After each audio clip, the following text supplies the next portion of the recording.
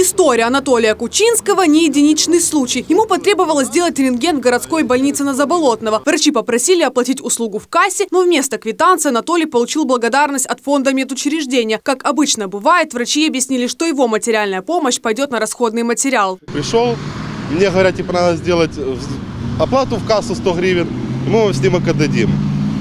Э, Я сделал оплату, думал, там будет чек какой-то, да, там, ну, как любой, после любой операции э, оплаты. Они мне дают, э, написано там благотворительный взнос, спасибо, типа 100 гривен. Я принес, как бы отдал, ну, думаю, такое. Они мне снимок не отдали, показали на экране и дали описание просто на руки. Я пошел к врачу, она это почитала все, назначила лечение, ну, через неделю как бы кашель не уменьшался, но дальше продолжал болеть. Она меня отправила на повторный снимок. Говорит, «Может, ну, бывают там ошибки всякие. Я пошел сделать повторный снимок, они мне обратно говорят, 100, 100 рублей, ну, 100 гривен. Я говорю, в смысле? Говорю, вы мне просто раз, говорю, за что? Они говорят, за пленку. Они мне сказали, что не будут делать снимок, потому что, ну, пока не присылают квитанцию. Почему 100 гривен, а не 50 или же 40, неизвестно. По закону при добровольном благотворительном взносе пациенту должны выдать квитанцию об оплате и проинформировать, куда направляются собранные деньги. Благотворительные организации при медицинских учреждениях законом не запрещены. Если пациент хочет помочь с больницы, то это его выбор, который не должен влиять на оказание медицинских услуг. Такие фонды обязаны отчитываться, на что расходуются собранные средства. Но чаще всего их финансовая отчетность недоступна и весьма непрозрачна. Сейчас я попытаюсь узнать, как в городской больнице на Заболотного распоряжаются собранными средствами. выкручивания рук в лечебных учреждениях на сегодняшний, кстати, по 29-й поликлинике у нас нет. У нас ни один пациент заплатил он деньги в благотворительный фонд, дал копеечку, не дал копейки. Э, Мы без помощи людей не оставляем никого. Это независимо, независимость, э, независимо от того, заплатил, не заплатил, человек получает или анализы ему делают, или рентген делают, или и другие процедуры, какие, какими мы располагаем. В основном э, волнует людей, где мы просим оказать содействие, это на лабораторию, на рентгеновские исследования, то есть там, где нужны расходные материалы. Почему? Нам э, на сегодняшний день город дает э, финансирование э, здравоохранения, городом идет, э, увеличивается с каждым э, годом, все больше и больше дают денег.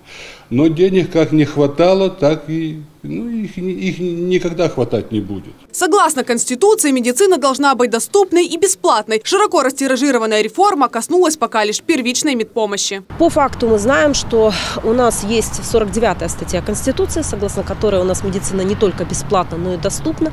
Но все мы прекрасно понимаем, что несмотря на так называемые медицинские реформы, которые анонсировал Кабмин в том или ином виде исполнения, у нас на местах продолжают пациенты платить за те или иные услуги.